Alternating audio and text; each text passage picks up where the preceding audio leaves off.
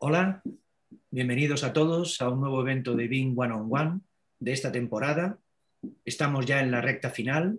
Están con nosotros los expertos de Archicad y Open Buildings y este evento está patrocinado por Bing Week y Bing Campus como ocurre en los eventos anteriores. Tenemos con nosotros a Diego Martínez Montejano, que es un experto de Archicad con muchos años de experiencia, tanto en el mercado como a nivel profesional. Es además un experto en sostenibilidad, es muy conocido, lleva muchísimos años y tiene un conocimiento muy profundo, pero también lo que más me gusta de Diego, lo que más apreciamos, es que aparte del conocimiento técnico, tiene un conocimiento del mercado y de los clientes muy próximo. Entonces nos trae una experiencia mm, eh, didáctica muy importante en BIM donde ha sido eh, el que ha generado los contenidos de la plataforma BIM desde hace muchos años, más de seis años. Y Diego, además, eh, y su estudio, Architect, están muy especializados en arquitectura sostenible. Bienvenido, Diego. Igualmente, Gustavo, muchas gracias. Pedro eh, también es una persona muy conocida, también como Diego lleva muchos años llevando a cabo los contenidos eh, didácticos de la plataforma BIM Freelance. Pedro es un arquitecto muy experto, pero sobre todo tiene un papel y ha tenido un papel de difusión muy importante en eh, Bentley, concretamente en Open Buildings, anteriormente llamado Ecosim. Pedro trabaja en proyectos internacionales mm, precisamente en este momento. No sé exactamente con lo que estará, dará para, algún día que nos cuente su experiencia en este tipo de implantaciones. Eh, es uno de los, de los grandes baluartes de Bentley en mercado de habla hispana. Y, bueno, ¿qué puedo decir? Eh, es, una, persona que es súper experto, no solo en Open Building, sino también notaremos que lo es en, en Common Data Environments. Bienvenido, Pedro. Muchas gracias, Gustavo. Vamos a comenzar, si os parece, el, el debate de, que, nos, que nos toca hoy. Y la primera pregunta, que ya estáis acostumbrados, pero hoy tenemos a dos sistemas diferentes, es eh, ¿cuál es la arquitectura, Diego, de, de Archicad? ¿Cuál es la arquitectura del sistema? ¿Cuál es la arquitectura de Open Buildings? Diego. Bueno, Archicad es eh, uno de los software BIM que se basan en un archivo único. Eh, no, no, son varios archivos ni nada por el estilo, es un archivo único en el cual se colabora. Archivo único. Frente a. Bueno, eh, Ecosim, como todos los productos de Bentley, se, se, basa en un sistema de modelo federado en el cual hay un montón de ficheros que están vinculados entre sí. Entonces, la arquitectura del sistema es muy diferente. Y, además habíamos visto en las, vemos en las presentaciones que, nos, que, tenemos que el perfil de cliente y el de dónde viene cada producto es muy diferente, así que va a ser una, una, reunión muy animada, un debate muy animado porque son sistemas que parecen divergentes. Eh, Pedro, ha cambiado el nombre de Open Buildings desde Ecosim y eso quiere decir algo. Eh, cuéntanos este pequeño detalle. Luego le daremos espacio para, para, que, se, para que se extienda Diego. Cuéntanos por qué. El nombre de, Open Buildings, de hecho, ha cambiado muchas veces a lo largo de su historia, pero el cambio definitivo de Open Buildings, de Ecosystem Open Buildings, precisamente por integrarlo en eh, la denominación del resto de los productos de Bentley, como son Open Roads, Open Site, Open Plant, que todos se interrelacionan y funcionan al unísono en proyectos multidisciplinares. Ok, entonces lo que tenemos es que ese cambio es, para, es una continuidad de la misma filosofía y se ha reconducido. Eh, Diego, en el caso de Archicad forma parte del grupo Nemesche. Entonces, Archicad estaba aislado creando una solución, pero en el entorno, que ya, ya lo habéis comentado en las presentaciones, lo habéis expuesto, pero en el entorno de, infraestructuras no se ha utilizado nunca, no tiene conexión. O tiene, o tiene alguna conexión o se ha utilizado. ¿Tú tienes experiencia de esto?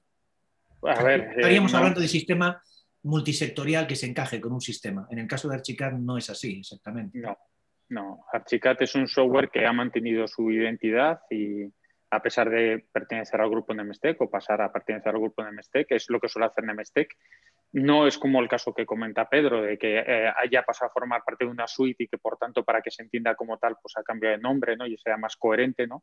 con esa labor comercial. ¿no? en el caso de Archicad, desde luego, se ha mantenido como, un software totalmente autónomo, especialmente destinado a, arquitectos y a edificación. ese es su campo. Ok, eh, es importante establecerlo para que vayamos, porque estamos en, el AECO y hay una transversalidad.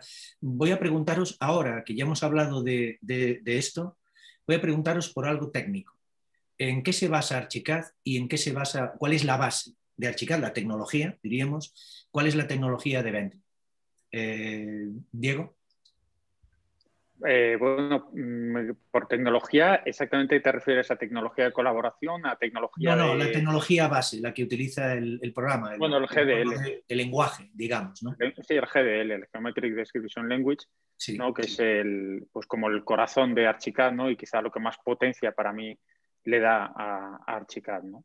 estamos hablando del sistema, por eso la, pregunta, ¿no? Es, especialmente relevante. Eh, Pedro. Bueno, en cuanto al lenguaje de programación, no lo sé exactamente, sí lo sé, pero, no es lo importante. Lo auténticamente importante es que Ecosim funciona sobre un software, sobre un CAD que es MicroStation, que es común para todas las aplicaciones o la mayoría de las aplicaciones de Bentley. Perfecto. Además, os agradezco la concreción de las respuestas porque estamos llegando muy rápidamente. Estamos hablando del sistema. Luego hablaremos de la colaboración, que es lo que me sugerías, Diego, que es que luego esto se encaja. Pero hablemos del sistema, pasemos a la parte del rendimiento. Una vez tenemos el sistema, vosotros en vuestra experiencia pensáis eh, que el rendimiento del sistema es bueno, es decir, es del todo punto bueno y que ya está maduro y que no hay mucho más que pedirle. A ver, eh, bueno, personal, eh, os dejo. Sí, mi opinión personal es que más que pedir siempre hay. Yo tendría muchas wishlists, ¿no? Para hacer a Graphisoft, ¿no? Y las tengo y todos los usuarios en general. en cuanto a que está maduro, pues sí, desde luego. No, pero de cara al rendimiento, porque te voy a preguntar sobre el rendimiento. vale, de cara, de cara al rendimiento es un software con un rendimiento muy alto, eh, muy ágil. Eh, pero sí que es cierto que tienes que tener cuidado con ciertas cosas que pueden hacer que eh, pues aumenten mucho de peso algunas cosas, ¿no? Y que ralentizan eh, tonterías, ¿no? Que al final eh, pueden ralentizar los procesos mucho y que, que puedes ahorrarlas si lo conoces, ¿no?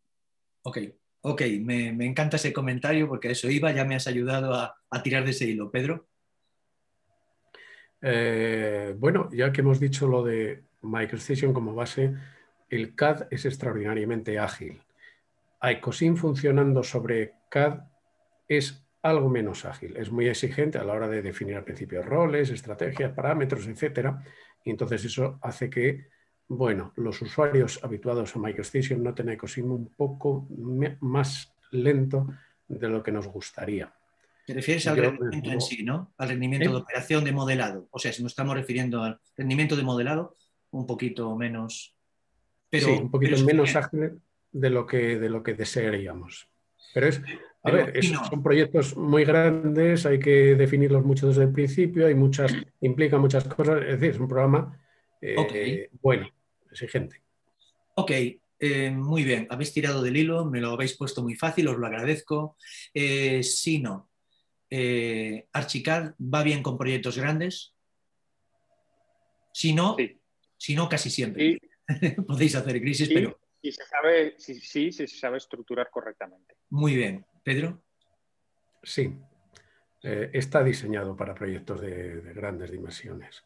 Claro. Eh, una, pregunta específica para Pedro, porque lo, realmente hay una diferencia, y siendo una persona que conozco varios sistemas y llevo muchos años, como vosotros, que sois BIM managers, llevamos muchos años, eh, Pedro, ¿no notas que tu opinión o la opinión de la gente de Bentley es para hacer proyectos, grandes proyectos de decenas de miles de metros cuadrados o de square feet o cientos de miles de square feet, y que eh, hablemos del rendimiento de un pequeño proyecto y luego de un gran proyecto. Que a lo mejor estamos, el rendimiento que tú notas para un pequeño proyecto sería excelente entonces, si es para grandes proyectos bueno. Sí, perdona. Excelente. No, sé si has terminado. Para grandes proyectos es bueno, claro. porque No, no. Eh, em, mi asunto es, para grandes proyectos, lo fundamental no es la agilidad del movimiento 3D de la pantalla, sino el poder trabajar simultáneamente con un equipo de a lo mejor 50 personas trabajando simultáneamente. En ese caso, si hay que esperar a que se mueva un poquito más el modelo, eso no es lo importante. Lo importante es la agilidad del proceso de colaboración. ok, pero ahora, centrados en el rendimiento, ¿es suficiente o debería mejorar? La a ver, es suficiente y los que estamos acostumbrados a MicroStation nos gustaría que fuera un poquito más ah, rápido. Bueno, bueno. Es, es una cuestión de... No podemos hacer el mismo paralelismo con AutoCAD, los que provenimos del mundo AutoCAD, ¿no? No es lo mismo. Ya sabemos que no. MicroStation sigue sirviendo, AutoCAD ya se ha quedado atrás. Es que MicroStation es un CAD extraordinariamente ágil y a lo mejor pues eso, en su, en su ventaja lleva su, pecado para el resto de las... en Archicad hago el discurso mm, al revés. O sea, en pequeños proyectos evidentemente va bien, lo sabemos, es conocido. Pero en tu opinión, en grandes proyectos que tú has experimentado, va igual de bien y se nota fuerte el sistema. Sí, se nota eh, fuerte. Sí. No, sí se nota fuerte. Hombre, Archicad es extraordinariamente ágil en pequeños proyectos, eso desde luego, ¿no? Sobre todo porque tiene un comienzo muy, muy ágil, ¿no? Rapidísimo. Em, con una simple instalación del software, pues ya puedes desarrollar un proyecto entero, ¿no? No te hace falta prácticamente nada más, ¿no? O nada más. Eh, en cuanto a proyectos grandes, eh, pues si se sabe estructurar bien. Eh, ¿Qué quiero decir con esto? Pues que probablemente tendrás que recurrir a módulos vinculados, a ciertas estructuras de archivos que ya no serán de archivo único o serán de multiarchivos únicos, ¿no? que te mm. permitirán trabajar pues, en archivos grandes de una forma, pues la verdad, bastante solvente, vamos, y muy ágil. Lo único que eso hay que estructurarlo correctamente y tiene sus, sus cosas y sus complejidades ¿no? que hay que resolver. Bueno, entonces, bottom line, tengo que decir que pequeños, grandes proyectos no es un problema, ambos sistemas son sólidos, cada uno con su filosofía. Es decir, que al final eh, puede que lleguemos a la conclusión de que ambos, con diferentes filosofías, ya están muy testados. Quizá es la conclusión del rendimiento. Os quiero preguntar, esta es una opinión mía, que os pido confirmación en la respuesta, pero también quiero que incluyáis el efecto del hardware, el efecto del hardware actual y del que va a venir. Es decir, con el rendimiento actual, ¿veis en, el horizonte eh, alguna ventaja de que aumente el rendimiento de los ordenadores, de Internet, y, que, bueno, por aquí no haya que avanzar porque está eh, suficientemente bien. Diego. Pues a ver, eh, claro, ahora mismo lo que estamos es un poco en la explosión de las tarjetas gráficas ¿no? y del apoyo del software en las tarjetas gráficas, que yo, creo que en, Pedro en alguna ocasión ha, comentado también que lo que demanda, por ejemplo, alguien que está usando un software BIM de un render es la inmediatez más que eh, la inmediatez para la comprobación y para la contrastación con otras personas, más que el hecho en sí de la calidad del render. ¿no? Entonces, yo creo que en ese aspecto el poder extraer toda esa potencia de las tarjetas gráficas va a ser fundamental para llegar a ese punto en que una herramienta BIM también valga para eso. Que desde luego Archicad mm, sí que es solvente haciendo render, eh, eh, se mueve muy ágilmente en pantalla, pero no, no está explotando para mí ese, ese aspecto que podría explotar. Sí, estoy de acuerdo con, Diego. Eso es una cosa que, hablamos un poco todos. Puede parecer que un programa de, este estilo exige una calidad de render eh, extraordinaria, pero efectivamente lo que necesita es un render de comprobación, de verificación para eh, mandar un modelo que pueda verificar otra persona, chequear, anotar, y eso no exige una calidad fotográfica. Entonces son, eh, en cuanto a tarjetas, pues más ágiles que de calidad final. ¿no? Y procesador también un poco lo mismo. En el caso de EcoSim se añade además que como es un programa, igual que MicroStation, que salva continuamente, sí que puede mejorar con el tema de los discos duros SSD, que en este momento no tienen una capacidad grande, pero que son mucho más rápidos a la hora de, escribir. O sea que el avance, de los, el avance del hardware y del software va a crear oportunidades que van a aprovechar. O sea, hay ciertos saltos que son debidos a la tecnología y por tanto hay que confiar en que todavía aumente más. Muy bien, me voy a pasar a la parte de automatización y voy a abordarlo de una manera eh, triple. Es decir, lo primero es, el sistema está suficientemente, eh, el sistema en sí mismo, el sistema como se modela, el sistema de modelado, es muy automático. Por ejemplo, cuando hablamos de templates o de tener el sistema personalizado, preparado con aquello que es necesario, modela rápido.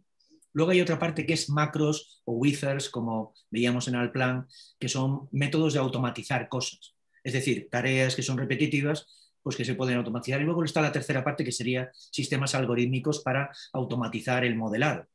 Entonces, en la primera parte, trabajo con plantillas, preparación. Eh, yo creo que, que, me vais a comentar que los skills, que las habilidades son fundamentales y la experiencia en proyectos es lo que te va a dar ese ahorro de tiempo, porque automatización es ahorro. Entonces, ¿qué tal va eh, eh, manejar los templates, el, el, sistema, conocerlo bien? Quiero decir, perdonar por la pregunta, muy concreta, ¿el sistema es bueno y es automático? Quiero decir, modela automáticamente de manera muy, muy eficiente, tal cual es, sí, así. ¿Sí? En el caso de Archicad, desde luego que sí, vamos. O sea, ¿Sí? eh, lo que pasa es, bueno, es lo que comentas, que tienes que haber tener unos skills. El caso de Open Buildings, pues tiene también sus, sus, soluciones, aunque, como dice Diego y como ya hemos hablado otras veces, yo creo que para proyectos eh, que se necesita un resultado rápido, pongamos un concurso, es mucho más convincente para mí utilizar Archicad que, que Open Buildings. Y sin embargo, para proyectos multidisciplinares, siendo ordenado, teniendo un control de los roles, de, de, las, de los permisos, etcétera, Open Buildings me parece una solución eh, muy, muy bien organizada. Ok, en la segunda parte que es eh, automatización, es decir, el 20% de las tareas que hacemos en... Esto básicamente es una fórmula universal. Es como, es como la fórmula de la Coca-Cola, es la receta perfecta. 20% de las tareas son el 80% del trabajo. Si automatizamos el 20%, estamos automatizando la compañía. La automatización es un proceso que se está produciendo por la digitalización. Entonces, tenéis en el, sistema estas automatizaciones tienen alguna forma, se llaman de alguna manera, está pensado que se creen esta especie de se llamaban antiguamente macros, wizards, eh, o que las tareas se puedan organizar de manera que sean lo más automático posible el proceso?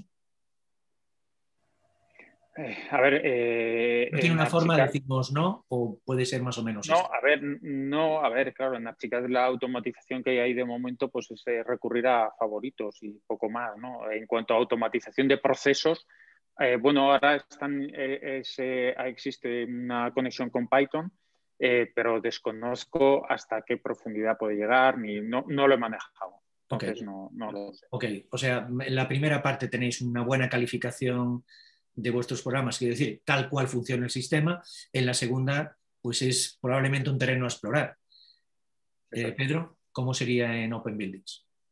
Bueno, aquí ya entre, entramos en el, digamos, la relación de, de Open Buildings con ProjectWise, en el cual están directamente ligados. Una vez que se define correctamente toda la estructura de datos, de templates. De Estamos permisos, hablando de automatizar de... procesos de modelado, quiero decir. ¿eh? Sí, quiero decir que si se define correctamente esa estructura en ProjectWise, al final ICOSIM es crear un fichero y ya están creados todos los permisos, todas las, eh, todos los templates, la estructura, niveles, células, todo eh, de modo automático. ¿Se puede hacer con una Open Buildings instalado en un ordenador sin ProjectWise?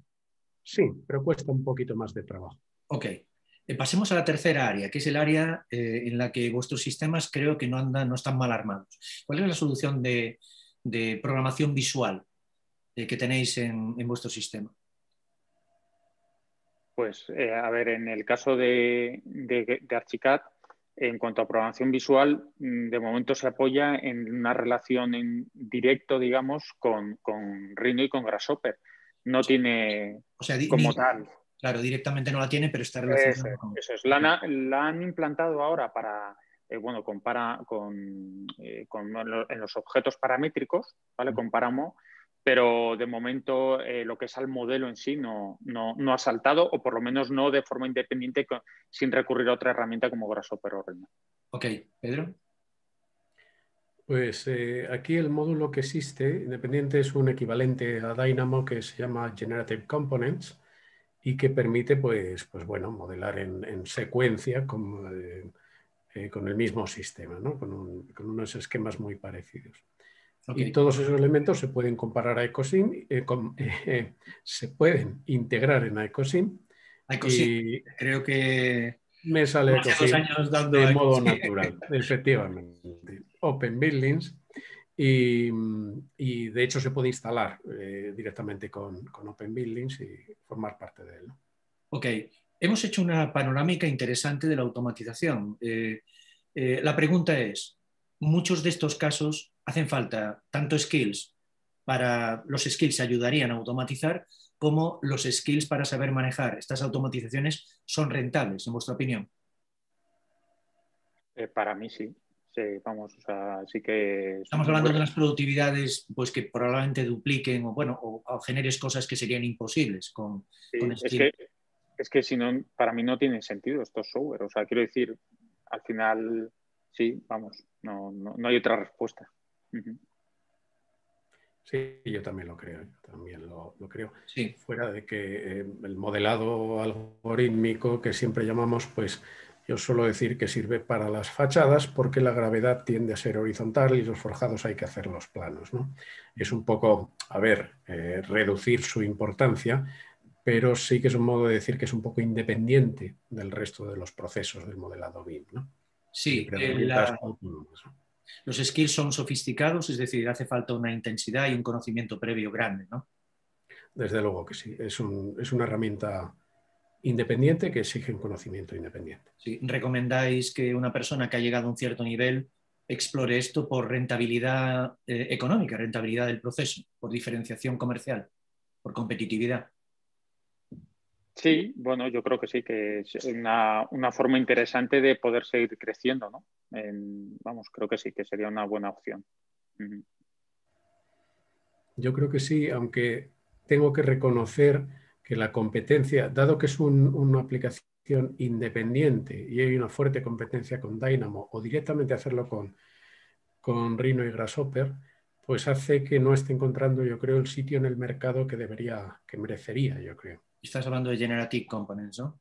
Sí, sí, sí, en este caso estoy hablando solo. Sí, hay, hay, bueno, esa ha sido un área concretamente de mi especialización y la verdad es que Grasshopper Rinoceros, esa relación Grasshopper con Rinoceros, es líder en, esta cuestión. Dynamo está impulsándose mucho y es bueno que, ocurra y Generative Components existe. Lo que veo es que hay, esto se, debe avanzar en esta integración, pero bueno, Archicad quizá es el que tiene que eh, ponerse las pilas. Curiosamente es el que tiene un lenguaje de descripción, eh, de, descripción de elementos más, más desarrollado de todos los software. ¿no?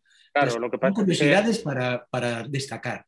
Hombre, y Gustavo también habría que evaluar mucho las relaciones comerciales entre las empresas, ¿no? Quiero decir, o sea, que también puede verse como algo muy ventajoso el hecho de que Grasshopper y Rhino sean software muy extendidos, ¿no? Y que la gente que ya está metido en ese, en ese mundo, ¿no? Eh, pues sean los que fundamentalmente usan, pues se puede ver como una, bueno, comercialmente como una estrategia muy conveniente y el hecho de tú desarrollar algo independiente puede que después eso lo trabe, ¿no? Entonces ahí hay un equilibrio difícil, ¿no? Mm, para mí, vamos, mm, sin tener ni idea, ¿no? Pero a priori, nosotros no estamos en el software ni en las estrategias y podemos pedir, nosotros si nos piden, pues diremos, hacemos lo que podemos con, nuestra labor tecnológica, pero podemos pedirle a las compañías que lo hagan mejor y más rápido cada día. Para eso estamos aquí.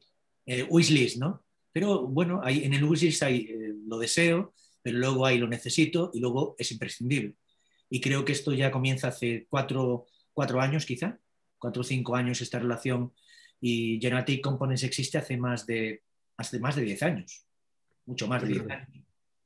Y Grasshopper también ya viene de largo y la, interacción ya es cuatro o cinco años de madurez ¿no? con, con Archicad. Sí. Yo estoy de acuerdo con, Diego que, es verdad que, a veces eh, es inventar un poco la rueda, ¿no? Y entonces, eh, si hay aplicaciones que funcionan externas, eh, lo más razonable es integrarlas debidamente. ¿no? La política de Bentley a veces es incluso, bueno, si existe una aplicación externa, vamos a integrarnos bien y vamos a comprar la compañía, como, como sucedido con Syncro o como, como otras herramientas. ¿no? Entonces, Bentley es un conglomerado de herramientas muy poderosas que, bueno, se han ido adquiriendo. ¿no? quiero entrar por no quiero down this road en esa parte de compras que luego no se integran bien y que no son creadas por la marca y entonces el core no es el mismo, porque también es una cuestión que habría que debatir. Yo, yo en este caso, Bentley tiene un núcleo de aplicaciones que desarrolla y está comprando otras. Eh, eh, Graphisoft ha desarrollado su aplicación, el grupo Nemescheck ha comprado otras. Eh, son filosofías diferentes, creo que las, las que tienen, como BIM Manager, pero no es mi asunto. Hoy soy presentador, voy a pasar a la siguiente parte de mantenimiento. Esto ha quedado yo creo que bastante, bastante claro. Pasamos a mantenimiento porque es la parte donde os pregunto una cuestión del mantenimiento muy sencilla. Y es, entre el primer día que utilizas el programa y darle una cierta atención para organizar las cosas y eh, crear tus propios templates y darle un mantenimiento continuo, es decir, una atención continua al sistema, es, es complejo y lleva mucho tiempo preparar el sistema para que sea, para que esté, para que aumente el rendimiento del modelado del modelador.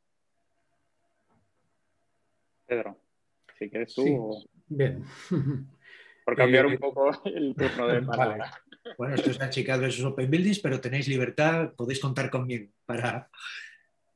Adelante. pues eh, yo creo que sí que hace falta un soporte. La verdad es que el tipo de proyectos que se hacen con Open Buildings suele haber una persona de soporte y para el que es nuevo o para incluso el que viene de otras plataformas BIM, cuesta un poco de trabajo ponerse a funcionar.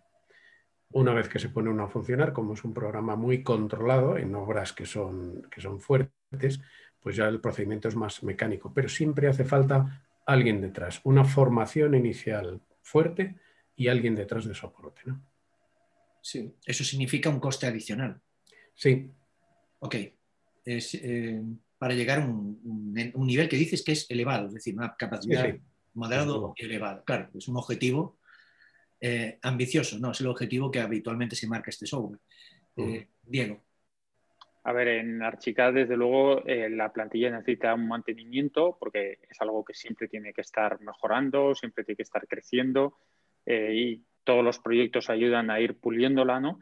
y pienso que sí que desde luego hace falta, si no alguien dentro de la estructura interna del, del, estudio, yo creo que recurrir a alguien externo no hace falta, pero sí que alguien interno que se responsabilice concretamente de esa labor, que a lo mejor tampoco tiene por qué ser a tiempo completo, ¿no? Pero bueno, que, por lo menos eh, sepan en la empresa que eh, quien está haciendo esa labor no está perdiendo el tiempo, ¿no? Que muchas veces es un poco el problema, ¿no? Que pueda existir, ¿no? Esto. Ahí es donde, donde voy. Retorno de inversión, Roy, es sembrar para recoger, es el proyecto anterior, me sirve como experiencia para el siguiente y todo ese know-how que estoy recogiendo. O sea, eh, la cuestión sería, en el mantenimiento, la experiencia en proyectos reales, luego entraremos en la colaboración ahora mismo, pero en proyectos reales colaborativos te da una idea de cómo funciona y es esencial para ser productivo a la hora de entrar en un proyecto profesional. ¿Opináis eh, lo mismo? Sí, sí, totalmente vamos. Eh, entrando ya en la colaboración, porque ya estábamos en las postrimerías, no podemos analizar el modelado sin entrar en el sistema, primero siempre arquitectura de la colaboración.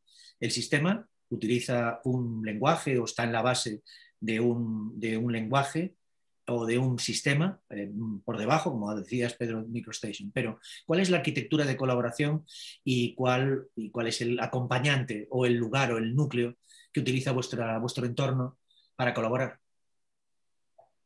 A ver, en el caso de Archicad ha ido cambiando de nombre también. Esto, eh, bueno, justo esta parte es la que ha ido evolucionando, ¿no?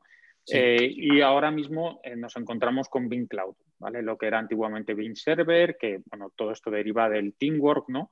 Eh, que en principio hubo un Teamwork 1.0, luego se pasó al Teamwork 2.0 y esto Archicad lo tiene muy pulido porque al ser un software de archivo único, la única forma de colaborar es a través de un buen, de un buen servidor de colaboración, ¿no? Ok, Pedro.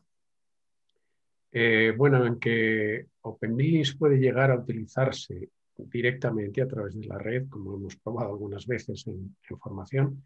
Eh, realmente lo lógico y lo habitual es basarlo en ProjectWise, que es el, CD de, Bentley, que es un programa extraordinariamente potente y muy controlable en, empresas grandes. En este momento el proyecto en el que estoy, ese que, que decías, el HS2 de, de, alta velocidad de, Londres, pues eh, están trabajando tres ingenierías para dar servicio a tres constructoras y en este momento pues el equipo de diseño pues, puede ser 150 personas de ese orden, no, sé exactamente.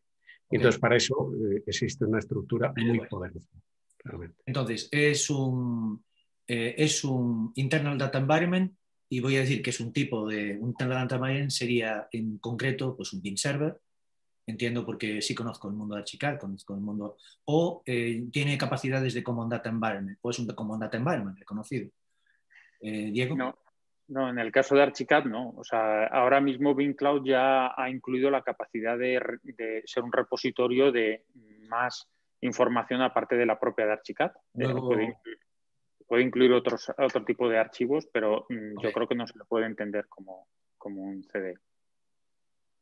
Pero es un bin server que ahora está añadiendo funcionalidades que, está produciéndose en el mercado. Es este año, esta, esta temporada de eventos, estoy muy feliz de que estemos hablando no tanto de las aplicaciones como de el avance de la compartición y de, lo que se le da al cliente, al equipo. Es más, sí. es más, porque Archicad no se caracteriza mucho por ser modular. Sí que es cierto que existe una versión Star Edition y una versión completa, pero en el caso del Bean Cloud lo han desarrollado como en tres etapas. ¿no? Hay un Bean Cloud Basic, después hay el Bean Cloud propiamente dicho, y después está el Bean Cloud as a Service, ¿no? Y cada uno te va dando pues, más capacidades, ¿no? Muy y tanto en el Bean Cloud como en el Bean Cloud as a Service, pues se ha convertido también en un repositorio de información que es muy interesante porque deja un rastro de quién se descarga las cosas, bueno, este tipo de cosas, ¿no? Que, luego, hablaremos, luego hablaremos de eso, muy interesante. Pedro.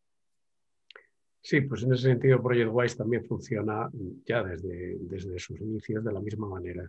Es un gestor de información que evidentemente es de Bentley y tiene preferencias sobre los productos de Bentley, pero eh, está diseñado para cualquier tipo de información.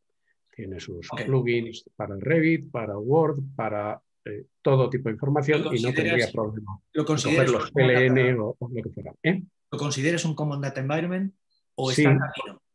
De hecho, no, no, lo es, es cuestión de organizarse y en este momento, en el proyecto en el que estoy, pues se pretende integrar toda la información, no solo de BIM, sino toda en ProjeCtWise. Pues será muy interesante porque te vamos a invitar al debate que va a tener lugar entre los Common Data Environment más conocidos, porque ProjectWise está en la, en la línea, pero es muy interesante lo que está ocurriendo porque ninguno consideramos a BIM 360 como un Common Data Environment, pero es que están creciendo las capacidades o el entendimiento, los software as a service, probablemente en el futuro no tengamos aplicaciones en el ordenador, sino que seamos eh, usuarios de sistemas que están operando en la nube, casi todo el software en este momento, si os digo la verdad, prácticamente todo software nuevo está creado en la nube cuando se ha creado de cero, es muy interesante. Entonces te invito a ser el que haga la defensa de ProjectWise frente a otros competidores como Common Data Environment.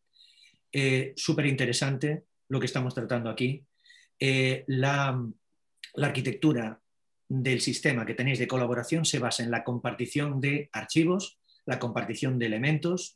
Cuando está chica yo tengo siempre la tendencia a ser mucho más, lo veo bien, me gusta potenciarlo, porque mientras otros entornos eh, comparten archivos, y habría que ver la estructura de los archivos, ¿ok?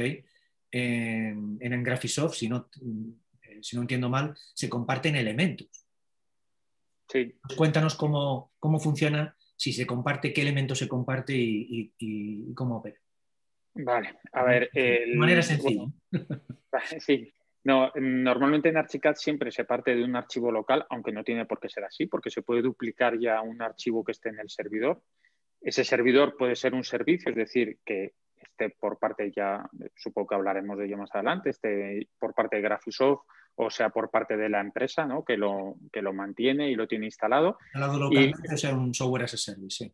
Eso es, exacto. Eh, entonces, eh, si tú empiezas, por ejemplo, con un archivo local, pues lo que haces es subir eh, ese archivo a ese servidor, que puede ser un servidor que esté en los ordenadores de tu empresa o, si se hace a service, pues en los ordenadores de, de Graphisoft. ¿vale? Em, una vez que haces esto, ese archivo único, que es un archivo único, puede pasar a compartirse por todos los usuarios que quieran acceder a él. Es decir, tú eso... Hasta aquí no, hay ninguna novedad, pero danos la de Coca-Cola. ¿Existe una compartición de elementos? Exacto. Exacto. Y entonces, una vez que haces esto, ya después cada uno de esos usuarios puede ir reservando elementos para poder trabajar en ellos. Y a su vez, eso es, a su vez, el resto de usuarios también pueden ir solicitándolos. Bueno, hay una mensajería interna también que puedes incluso pedir revisiones de elementos, etc. Bueno, ya que has entrado por ahí, a Pedro también le voy a dar el chance de que eh, explique un poco corto, pero que expliques el sistema. Porque, a ver, compartir archivos puede ser compartir un archivo grande o compartir información que está estructurada, precisa, eh, eh, etc. Explica un poco como archivos, cómo se estructuran esos archivos y luego si hay comunicación interna para hacer todo ese proceso colaborativo, que es lo que pretendemos. Claro, el modelo federado permite trocearse de la manera que se quiera, por disciplinas, por pisos, por eh, elementos singulares, por lo que sea. Entonces, eh, puede haber ficheros muy pequeños o ficheros muy grandes. Eh, cualquiera de los ficheros, pues como dice Diego, en realidad se descarga localmente, se trabaja localmente y se vuelve a subir. Es decir, se hace un check-in y un check-out y en el momento en que alguien está trabajando, bloquea ese archivo para los demás. Entonces es un, un proceso que en el futuro esperamos que sea software as a service de verdad y que los datos estén solamente. Pero bueno, eh, eh, sigue funcionando así. Entonces sí que existe una opción para dentro de los eh, ficheros referenciados activar temporalmente uno de los ficheros referenciados, trabajar en él o obtener elementos de él y luego desactivarlo. Digamos que que existe también esa posibilidad. Como siempre, es cuestión de estructurar las cosas debidamente. ¿no?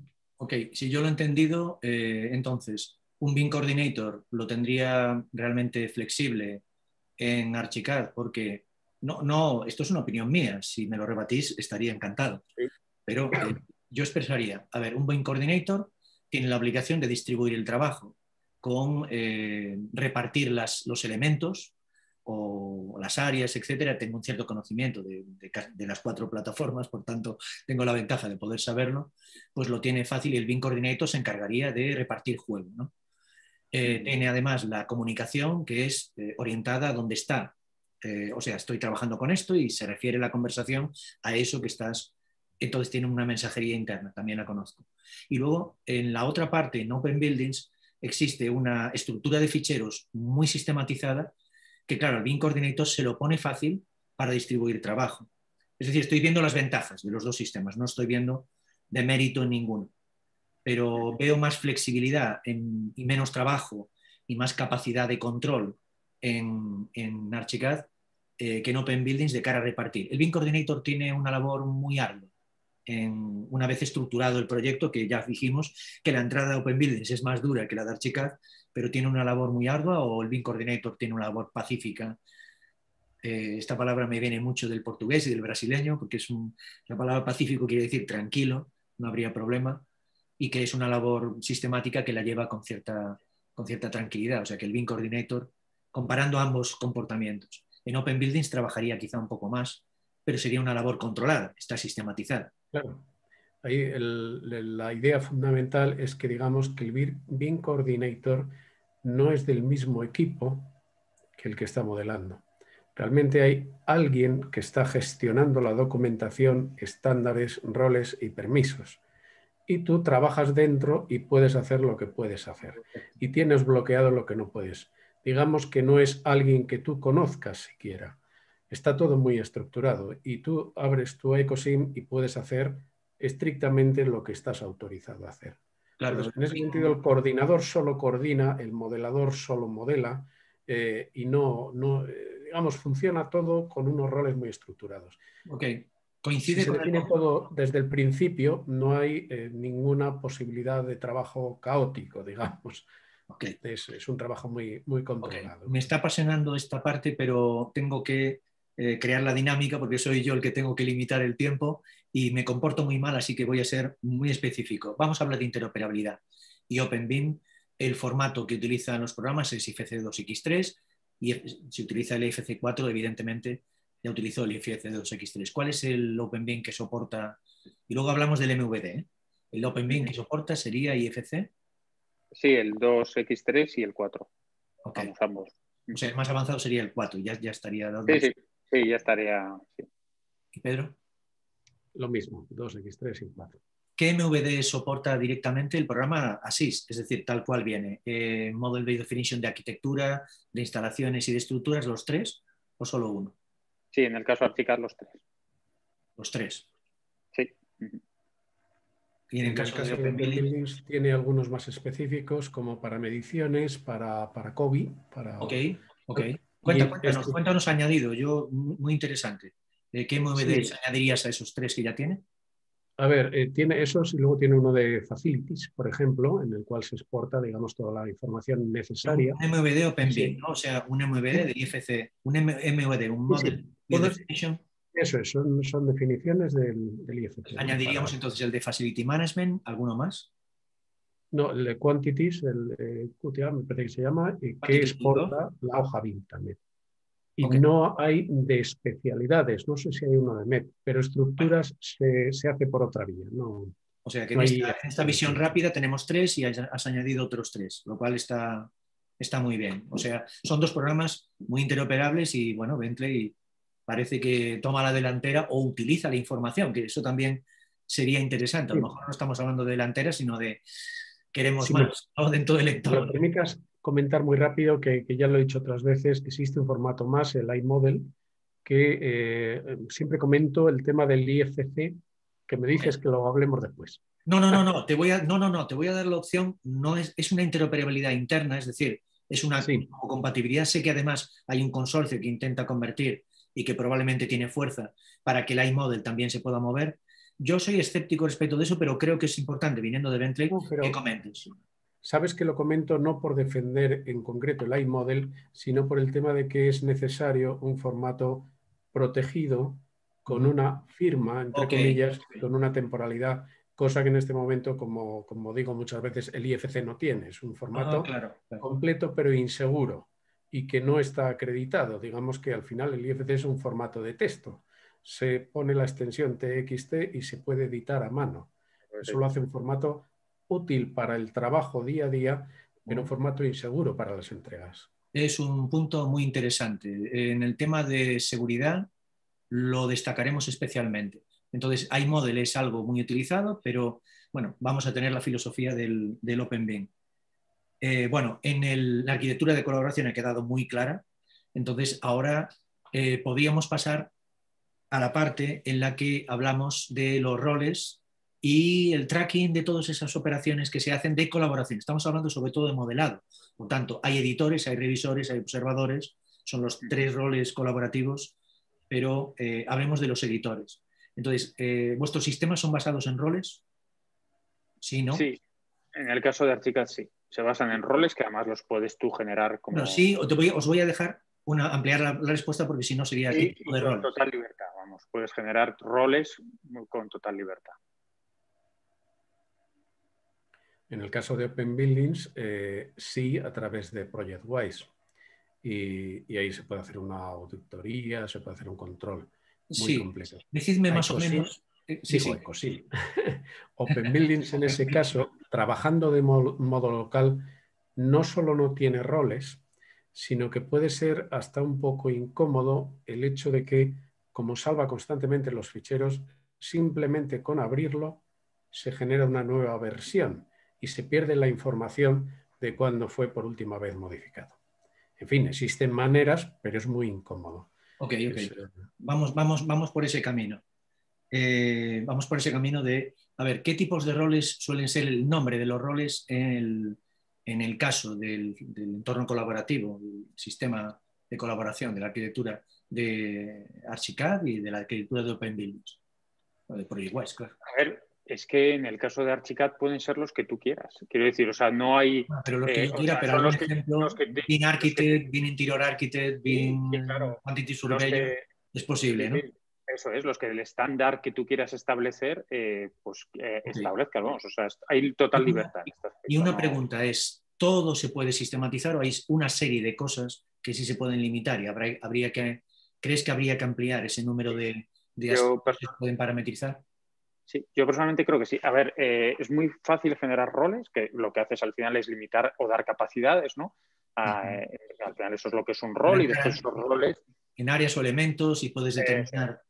Eso se los asignas a usuarios, pero sí que es cierto que hay determinadas áreas que para mí quedan demasiado mm, grandes ¿no? y que quizás convendría poder desglosar más. Por ejemplo, en el tema del modelado, o sea, es decir, Archicad solo te permite, hay en algunas otras cosas que sí que baja a desmenuzar mucho, ¿no? Pero, por ejemplo, en el tema modelado documentación, pues es que solo es modelar, puedes permitir modelar o no, puedes permitir documentar o no, pero no puedes. Eh, entonces sí que estaría muy bien poder bajar a un segundo escalón ahí. A lo mejor sería más complejo, pero creo que merecería la pena. Ahí entraremos inmediatamente. Gracias, mm, eh, Diego. Adelante, Pedro.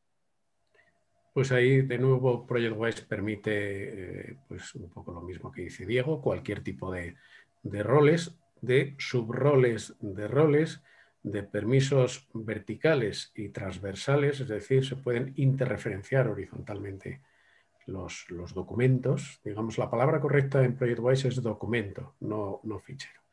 Y, y bueno, pues eh, digamos que se pueden definir roles para lo que se quiera, para disciplinas, arquitectura, estructura, MEP, por lo que sea, o para permisos determinados de gestión de documentos. En ese sentido es muy, muy flexible y se puede definir como se quiera, literalmente como se quiera. Es muy potente ProjectWise. Ok, Ok, pero algunos ejemplos de los roles que se suelen definir en, en ProjectWise que tú sueles hacer, pues, por ejemplo. A ver, un poco lo que se quiera, pero no sé, modelador, un coordinador, el gestor de la documentación, que es importante, ahí no sabría cómo llamarlo. Se pueden definir el BIM Architect, el BIM eh, Construction Manager, el BIM eh, Structure Engineer, disciplinas, etcétera. Efectivamente. leads de, de, cada una de las disciplinas, bueno, se puede llamar de muchas maneras. ¿no? Ok. Eh, entonces, vamos a continuar por este camino de los roles y los permisos. Eh, vamos a hacer el tracking. Eh, si, hiciéramos un tracking de lo que se ha hecho y que quede un registro de las cosas que han ocurrido, eh, los sistemas están preparados para dejar ese tracking, para saber quién ha estado, qué es lo que ha hecho, quién ha reservado, o al menos en la estructura actual existe ese quién revisa, etcétera. Quizá más a, a nivel de documentación, es que estamos hablando del modelo, es que hacer una revisión de documentación puede ser una, opción, pero estaríamos hablando a nivel del modelo. ¿Existe esa capacidad de tracking en Archicad en Open Buildings? A ver, en Archicad existe la capacidad de saber quién ha enviado eh, o quién ha contrastado. Archicad funciona con una descarga de una copia local, ¿no? Entonces, eh, una vez que se hacen ediciones en esa copia local, eso después se envía al servidor, se envían solo los cambios, con lo cual es muy ágil, y sí que queda un rastro de eso, ¿no? De cuándo se ha enviado pero no se sabe exactamente. Pero cuando un, archivo, una parte, un archivo, ¿cómo envía? De manera que, se pueda. No, es, es, simplemente dar a enviar y recibir y ya está. O sea, quiero decir, es dar a un botón y entonces él envía la parte que se ha cambiado, se ha modificado. Es decir, no contrasta todo el modelo que te has descargado con el modelo que está en el servidor, sino que es solo la parte que ha cambiado, con lo cual esto es muy rápido. Pero sí que es cierto que el, el track que deja o el, chequeo que se puede hacer, la comparación que se puede hacer es bastante ligera. Es decir, no se puede llegar nunca a saber, eh, sobre todo si una persona ha liberado ya un elemento que tenía reservado, si no lo ha liberado es otra cosa, pero si lo ha liberado nunca se puede llegar a saber si ese elemento lo editó otra persona por en medio, es decir, no, no va quedando ese... Todo, todo eso no, no, se registra. Entendido. Pedro. En el caso de, de Open localmente existe la posibilidad de, auditar los procesos, aunque es algo engorroso y esquemático. En cambio, en ProjectWise sí que existe un sistema de, auditoría muy completo y, vamos, se saben las actividades de, vamos, vamos, a ir, vamos a ir en ese sentido porque es que es complejo y yo tengo que hacer las preguntas correctas porque si no tampoco podéis contestar de manera sencilla. A ver, los perfiles RACI, RACI o RACI eh, responsable, quién aprueba, quién consulta, quién es informado, quién es consultado. Esos perfiles están muy extendidos. Puede haber otros formatos, otras eh, filosofías según la cultura corporativa, pero ese, ese, tracking existe. ¿Están integrados los perfiles RACI o RASTI o parecidos en Archicad Open Building? ¿Sí o no? En lo que conocéis, claro, que sois los expertos. Lo que conozcan Archicad, no. Correcto. Yo no sé exactamente a qué corresponden, no sé si se podría definir, digamos, se puede extraer toda la información de los, de los procesos, la secuencia, pero no sé si corresponde con esos estándares. A ver, esto, esto la verdad es que es bastante sencillo y es, antes de tomar una decisión, si tienes que consultar o informar a alguien, existe algún modo dentro del programa, del entorno colaborativo, de hacer este proceso dentro. Es una parte de la colaboración, no quiere decir que tenga obligatoriamente que no ser colaborativo el proyecto. Estamos hablando más de trazabilidad. ¿Ok? Pero la tendría. ¿O entendéis que hay alguna manera de hacer esto en vuestro sistema, aunque no se llame rastro? Eh, se podría hacer con una mensajería, con la mensajería interna propia del bin server, que sí que se queda, ahí sí que deja un rastro, eh, pero bueno, eso tiene que, sí, sí, obviamente tiene que, tiene que llevar una acción por parte del que va a editar, ¿vale? sería, más un protocolo que un sistema, ¿no? Eso es, o sea, no, es algo que... También, es válido. por sí, ¿no? No es algo que deja un rastro de forma automática de por sí. Ok. Pedro, protocolo sistema, ambas cosas valen. ¿eh? Sí. Se podría obtener un informe del modelo máster de arquitectura con todas sus referencias y obtener quién ha abierto cada fichero en su momento y qué modificaciones ha realizado. ¿Y qué modificaciones? se puede saber. Sí, sí, sí. Ok, de Rasti no tanto, pero eso era la, la, cuestión anterior. Es que sistema es algo automático que exige y eh, protocolo es algo que se tiene que entrenar. Entonces, insistimos en que si no hay skills colaborativos, hay que olvidarse de estas capacidades de protocolos que existen en los sistemas, no se van a emplear correctamente. Entonces, siempre estamos insistiendo en los skills que es nuestro negocio en realidad, ¿no? Pero es que se trata del negocio más que entrenar, se trata de obtener un proceso de colaboración realmente potente, seguro, eficiente, eficaz, óptimo, etc. Eh, muchas gracias por las respuestas, porque realmente yo creo que hemos llegado a un grado eh, muy importante. Ahora hablemos de codiseño y ahora ya entra la revisión. Ahora ya no hablamos tanto de editores y solos como editores y revisores. El proceso se produce por revisión, codiseño, y la colaboración en la fase de temprana del diseño. Vamos a acabar en el IPD, eh, en la conclusión. Entonces, ¿cómo contribuye? Pues comencemos por aquí. Eh, ¿Soporta BCF vuestro entorno? Sí, Archicad. OpenBeam BCF, o sea, Beam Collaboration Format. Pedro. Sí, ¿no? Eh, como tal, no, aunque, bueno, es la, la estructura de información, sí. O sea, que hace el BCF, pero de otra manera y lo hace internamente.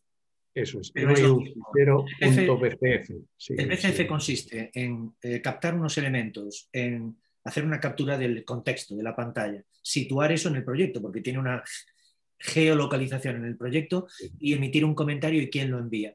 ¿Estas características existen en el sistema? Sí, sí, en ese sentido sí.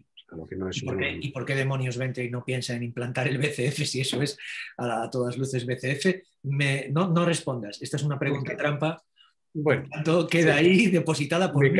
No te impliques tú. No te impliques tú. Ah, sabemos que Bentley va a estar escuchando lo que nosotros estamos diciendo aquí, va a estar atento. Por tanto, creo que podemos contribuir mucho con los comentarios, pero he sido yo, he sido yo, no te preocupes tú. Eh, los BCF, o sea, el entorno en el que el cliente ve el edificio y ve lo que se construye y pasea por él y en un momento dado hace una revisión, ¿es posible? En Archicad sigue apoyándose en una herramienta que se llama Beans. Sí, o sea, puede haber una app, puede haber un acceso a un software as a service. Eh, decirme cómo sería. En el caso de. En el caso de, en el caso de Archicad es a través de una app. Una app para un smartphone, en, iOS, en smartphone. Sí, bueno, realmente la verdad es que ahora mismo Beans está disponible para todo, incluso para desktop. Pero lo que es muy interesante es que eh, la aplicación desktop no era bueno, muy operativa, pero ahora lo han integrado ya con los navegadores con lo cual, vamos, se puede utilizar en cualquier entorno. Muy bien. Pedro. En este caso es eh, Navigator, que no es Navisworks, sino Navigator, que utiliza los, los iModel, los formatos iModel. Y se puede eh, iModel, ya, has dicho que es un formato eh, bueno, específico, pero hay plugins directamente para Revit o, tal otras aplicaciones. pero estoy hablando de los, de los consultores y de los revisores, que no tienen ni idea ni están dentro del entorno. Entonces, la descarga sería eso, el eh, Bentley Navigator y, iModel. Y existe una curiosidad que es la posibilidad de exportar PDF en 3D, que aunque pueda parecer un formato no BIM, eh, lo exporta con toda la información, con todos los parámetros, y en el cual se puede anotar, medir y sobre todo abrir con un Acrobat Reader. Eh, pero se puede localizar la revisión en un modelo grande, hablemos de un aeropuerto. Sí, se puede. Es una cosa sorprendente. Sorprendente. Y, y esa información lo utilizamos como una, herramienta que yo no conocía o no consideraba en este sentido, pero me sorprendió que se exportara con todos los parámetros, realmente eh, toda la información BIM, no solamente una cosa visual. Muy bien, muy bien. Estamos, estamos muy, muy adelante. Eh, la comparativa de los dos eh, de sistema multiarchivo y sistema monoarchivo, por decirlo de alguna manera, está siendo bastante, digamos, el checklist está, está resultando bien. Parece que hay diferentes sistemas, pero en el caso de interoperabilidad yo insistiría en que el Open es lo que nos va a unir a toda la cadena de suministro. Entonces, ahí en ese sentido yo quiero hacer hincapié en que Bentley tiene que hacer un esfuerzo que seguramente puedo hacer y que seguramente eh, yo estoy entendiendo que no es contrapuesto. El IFC es IFC, mm, exporta, entiende, lee, etc. Lo que probablemente está menos desarrollado es la interfaz con el usuario. ¿no? Entonces, en este sentido, yo conozco BinX, pero el PDF no lo he explorado, me encantará, me encantará hacerlo. No deja de ser una curiosidad, pero es interesante. interesante yo el único problema que veo, porque el PDF, eh, o sea, es cierto que tiene todas esas capacidades, pero por ejemplo, con respecto al Binks, el único problema que le veo es que es muy lento. O sea, quiero decir que una de las ventajas, por ejemplo, que tiene el Binks es que puedes llevar un modelo enorme eh, con un montón de documentación y moverla de una forma agilísima. Es, un hipermodelo. Eh, sí, exacto.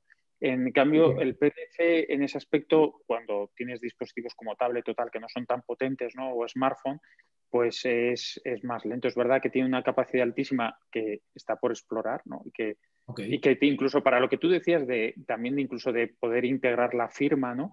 pues también podría ser una forma muy interesante, ¿no? De, pero, mm, vamos. pero vamos, que, yo, en temas de visualización, yo el problema que le veo al PDF cuando yo lo he probado en ese aspecto es, es que es lento, es el único problema. Estoy, estoy de acuerdo. BMX, por ejemplo, es una solución magnífica. Yo eso eso estoy de acuerdo y, las veces que la he probado, pues sí que tiene mucha gente. Voy a, voy a ir. sería Navigator el, el equivalente claro, a. Claro, sí, sí. claro. Es el específico. Entonces, Navigator es la solución en la que, eh, digamos que el revisor está conectado con el equipo de editores y con el resto de revisores y, por tanto, está conectado con el modelo. No hay intercambio de archivos. Confirmadme si BinX y Navigator tienen algún tipo de envío, email, o se puede perder por ahí o no se puede localizar, no se sabe dónde está, ni, se localiza la revisión. No, la revisión está localizada y le llega a los editores. ¿Es correcto? Sí, exacto, sí. Eh, aquí tenemos que enviar, en Navigator hay que enviar un ficherito, entre comillas. Sí que, sí que lo que pasa es que el fichero está protegido, eso es lo que comentaba antes. Pero llega. o incluso puede tener caducidad. Es decir. Pero no vayamos por ese camino que, que, encuentro interesante, ok, pero vayamos al camino de la interacción que hay con el consultor. Si no tenemos una absoluta transparencia entre el modelo y lo que hace en un smartphone o lo que hace en un tablet, lo que hace en un PC, el, revisor, si no está conectado directamente al sitio que quiere revisar y esto le llega a los editores, eh, en mi experiencia no hay ninguna ventaja en mi experiencia como BIM manager, yo, ese proceso no tiene éxito con los clientes. Los clientes no tienen algo transparente que digan, yo sí tengo acceso y además queda registrado. Tener en cuenta que esto es una cuestión legal. Una cuestión legal de que he hecho una revisión, no se ha respetado y han ocurrido cosas. O no se me ha respetado, no se me ha dado el servicio. Entonces, los archivos crean un protocolo que a la mayor parte de los clientes yo los, les, eh, les diría que la solución no me vale. En el caso de Navigator está integrada, por tanto entiendo que es una solución dentro. Claro, claro. E, ese fichero que existe físicamente, pues por supuesto puede estar en un, en un servidor en el cual pues, se acceda y, de cara al, entendido, revisor. Si lo he entendido, porque estamos hablando de ficheros, pero vamos a entendernos bien. El usuario no hace nada más que ver el modelo porque se lo han enviado y tiene acceso a él entrando en un lugar y dice yo entro. Y entonces ve algo y dice, esto no me gusta, que es lo que debe decir un cliente, ¿no? Esto no lo entiendo, no me gusta, puedo decir no lo entiendo, o esto y esto y esto no lo veo. Entonces cambiad esto, ¿no? Porque él no propone, el cliente y el revisor lo que dice es qué es lo que veo aquí. Entonces los editores proponen. Y entonces hace eso y dice, acabé mi trabajo y está enviado. Entonces tanto Navigator como BIMX lo mandan a los editores y dicen, esto es lo que quiere. ¿Es correcto? Y no hay interacción con ningún archivo, el proceso es transparente. Sí. No. Sí, es que como, es que como eh, Open Buildings es un sistema multiarchivo, a veces nos vamos a los archivos cuando en realidad es una cuestión de tecnicismo, pero el, cliente lo único que ve es una pantalla, ve el modelo y actúa. Efectivamente. Perfecto. Que quede bien claro porque si no sería disminuir la capacidad de Navigator y no es el objetivo de, esta, de este encuentro el disminuir las capacidades. Eh, es tan importante como que el codiseño transparente en mi experiencia, en lo que he vivido en mercados internacionales, especialmente en global, hace que los clientes digan, yo estoy controlando mi proyecto desde aquí. Yo lo puedo ver, yo puedo ver lo que ocurre, yo estoy interviniendo, yo veo los cambios. Y eso les da una seguridad, además es que para ellos es lo para los que estamos diseñando. Ellos sí saben el activo que nosotros estamos transformando para ellos. Muy bien, creo que ha sido, eh, ambos sistemas están preparados. Vamos a pasar al bloque 3, ciberseguridad, seguridad y privacidad. Comencemos por la seguridad. Siempre está de seguridad, no sé por qué, cuando debería ser el último, en realidad.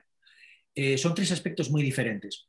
Hablabas antes, Diego, comentabas que existía la posibilidad, es decir, la seguridad que tienes en el modelado, pudiendo eh, asignar elementos y de una manera flexible, es un sistema seguro. ¿Es Archicad un sistema seguro de cara a evitar errores o evitar malas intenciones eh, durante el modelado? Bueno, sí, es eh, relativamente seguro, aunque el hecho, lo que comentábamos, por ejemplo, hablando de los roles, ¿no? Eh, pues de una forma muy clara que se puede ver la limitación esta que comentábamos antes es que no tendría sentido en Archicad hacer el rol de un MEP modeler, ¿no?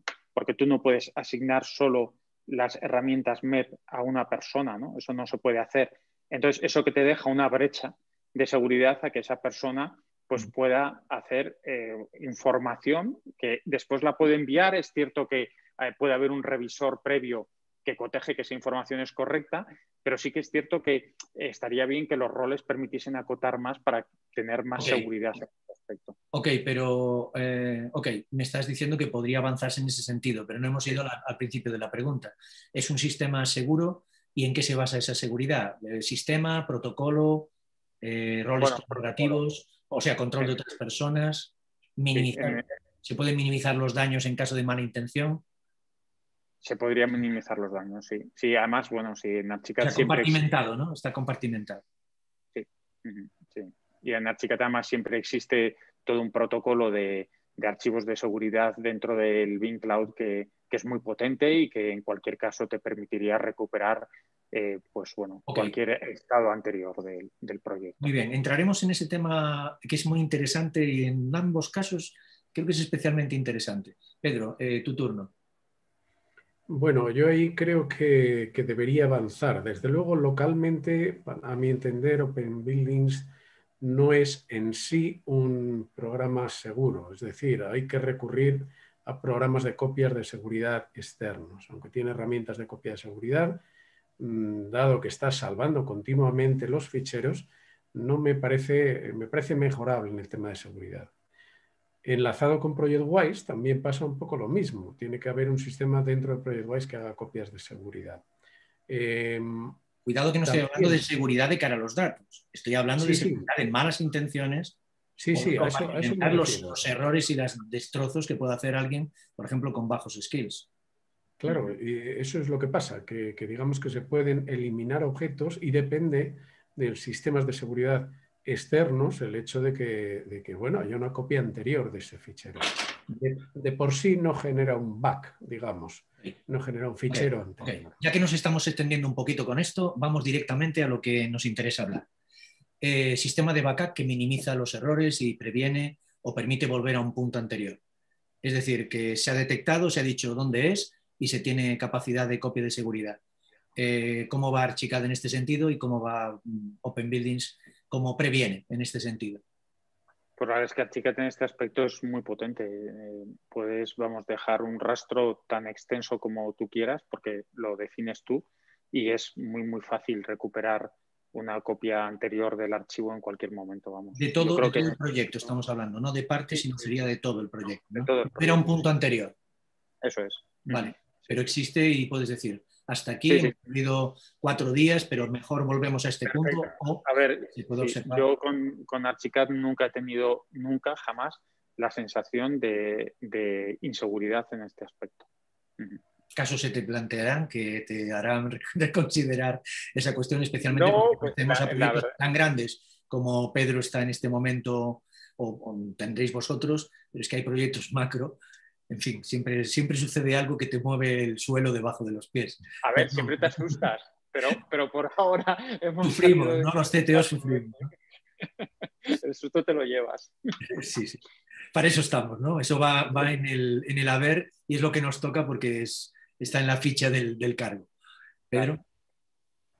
A ver, efectivamente, como he dicho, eh, hay sistemas de seguridad, pero no es lo habitual y puede suceder que haya un fichero que se corrompa o algo así, cosa que en Ecosim es un poquito más frecuente que en MicroStation, que es un programa muy... muy Open Buildings, ¿no?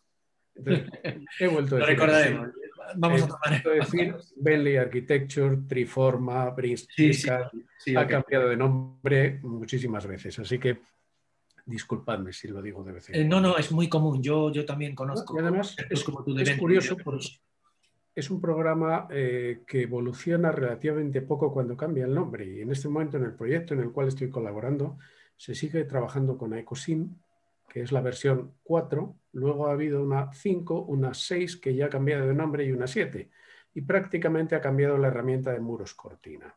Es decir, ha cambiado el nombre, pero poco, poco más. Muy bien.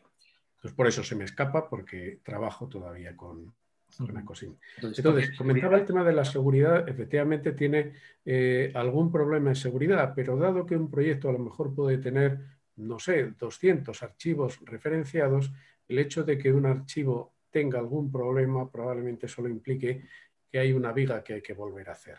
Es decir, el, mismo, eh, la misma estructura de trabajo que tiene hace que, en sí pueda, pueda ser poco problemático. ¿no? Claro, cuando, cuando yo entiendo y yo explico, yo entiendo como BIM Manager en multiarchivo, es que el secreto está en, la fórmula de la Coca-Cola. Es decir, eh, Alplan se creó directamente como una estructura de archivos, además se llaman layers, son disciplinares. Y digamos que es un divide and conquer, divide y vencerás, minimiza los errores, con lo cual alguien que conozca el sistema puede eh, restaurar cualquier cosa y decir, se han perdido dos horas, se han perdido diez horas, se han perdido 50 horas. ¿no? Pero que es un error limitado que se recupera y que da solidez al sistema. En vuestra, en vuestra opinión, la seguridad mm, de cara al backup, de cara a recuperar errores, de cara a que alguien venga y ayude y diga, realmente no se ha perdido nada. Es decir, los errores que, y el tiempo es mínimo en este momento y los sistemas son sólidos y funcionan bien. Eh, En mi opinión, sí. En mi opinión, sí. Ok. Pedro. Yo por lo que digo es un poquito mejorable, pero si se cuenta con un sistema de copia de seguridad externo. Bueno, pues pero en este caso no te voy a permitir, Pedro, que me digas eh, un quizás. Eh, ¿Está al lado del sí o del no? Yo creo que no, tan claramente no, que debe estar pensado para eso, para el programa externo. te agradezco mucho la respuesta porque es una buena orientación de cara, de cara a Bentley, eh, que bueno, que esa parte probablemente cuesta mucho menos en mejorarla, y los CTOs de los proyectos estaríamos y de las compañías estarían mucho más tranquilos con, esa cuestión.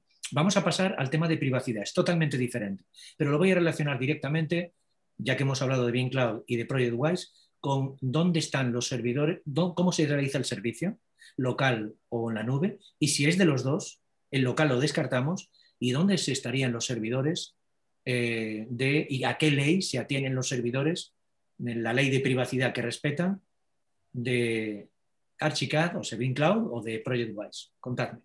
Los de, Beam Cloud, los de Cloud, bueno, ya hemos dicho que Cloud tiene los dos modos, ¿no? El modo en servidores propios, que ya hemos dicho lo descartamos. La ciudad es, de la organización, con lo cual el cliente lo asume, no habría problema.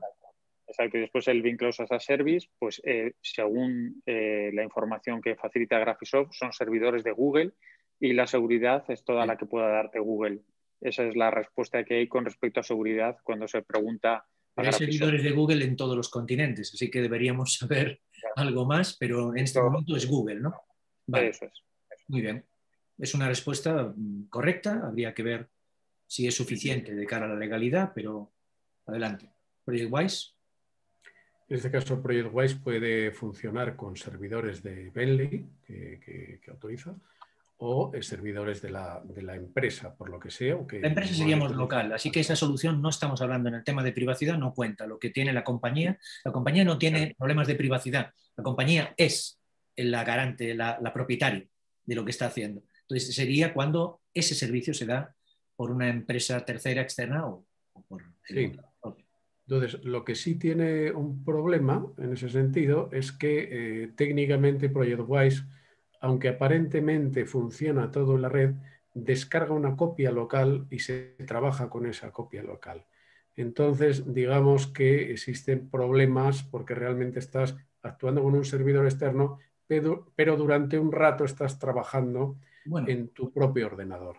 Y, y, eso simplemente borrando algunos ficheros de algunos directorios puede generar un pequeño problema. Eh, bueno, pero hay yo, un sistema de encriptación en el traslado de los ficheros. Se suben o se bajan y se copian localmente. Esa, voy, voy, a hablar de esa cuestión. Encriptación de la comunicación con los nodos, con todos los que trabajan, sí o no. Sí, en el caso de Graphisoft tenemos que confiar en lo que ellos dicen, que es que sí. Sí. ¿Tú confías en lo que ellos dicen?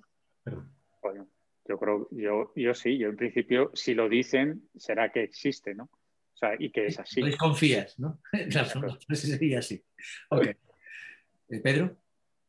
Yo creo que no existe, eh, lo dudo, eh, lo pongo un poco entrecomillado, pero yo creo que hay un servicio de subida y bajada. Si se hace un servidor de Bentley, existirá cierta garantía, pero no creo que haya una... O sea, en, medio en Internet, cuando estás en el flujo y llegas al, envío dentro de Internet, se puede, digamos, eh, capturar esa información y convertir en, un, en el proyecto.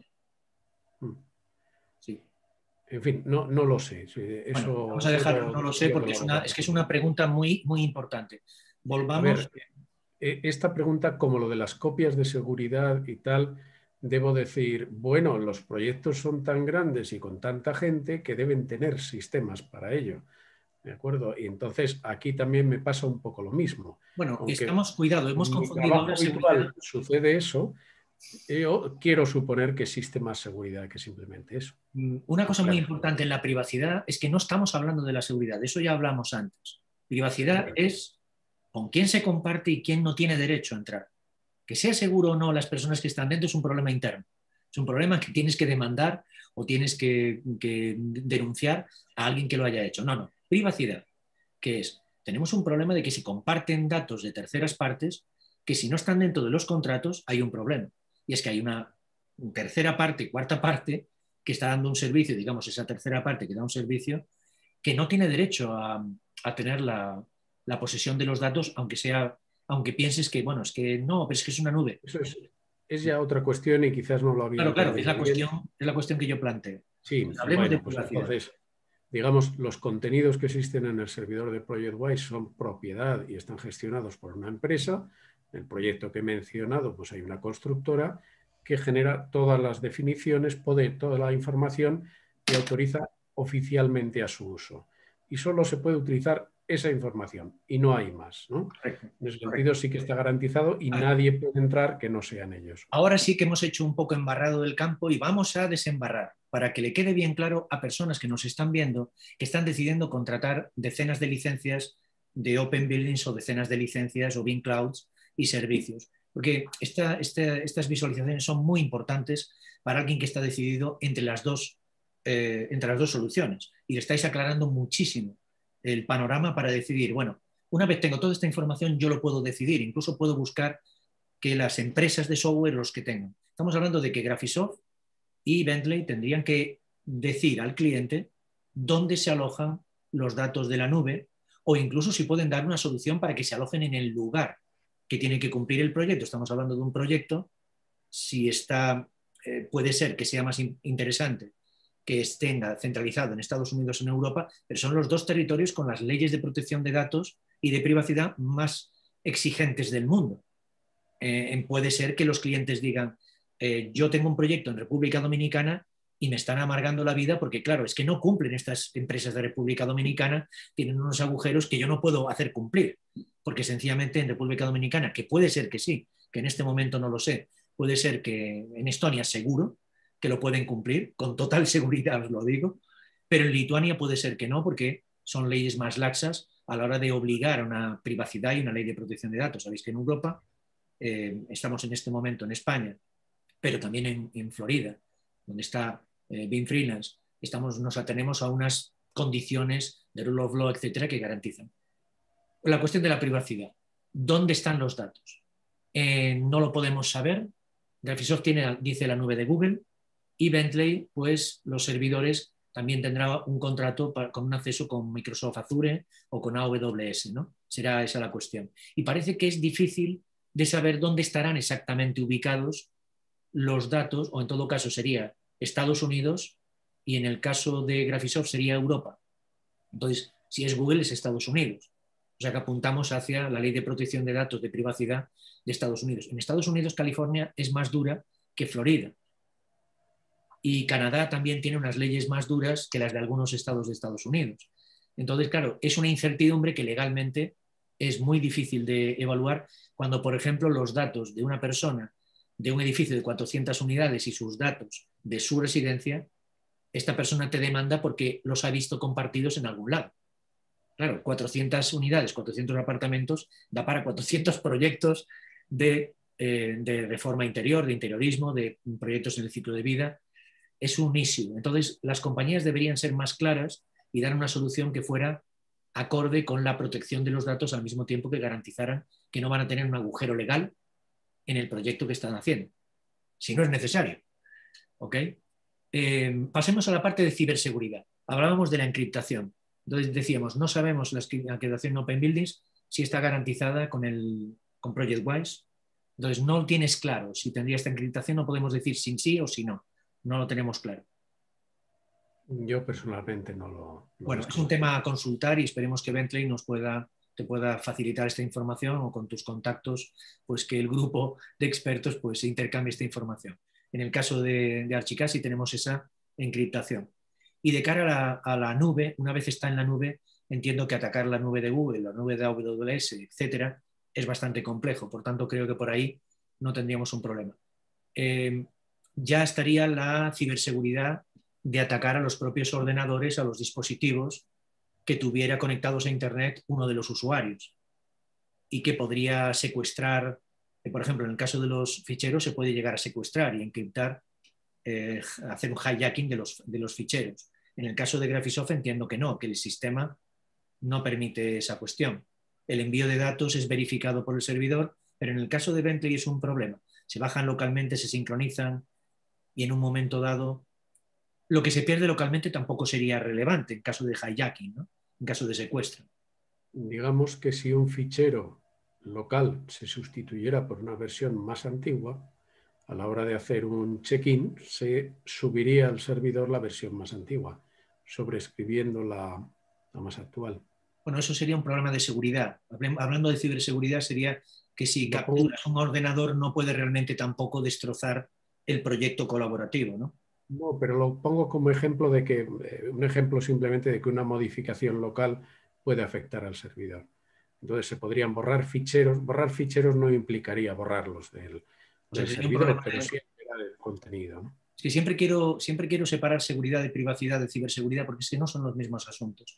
Una cosa es una mala intención o un asalto que se produce por un nodo y otra cosa es que eh, sencillamente alguien ha hackeado, ha entrado y puede alterar eh, el contenido. ¿Tú ves fácil que este hackeo local llegue a afectar realmente a un proyecto que está controlado? ¿Tú le ves una, una, detección posible y le ves un remedio?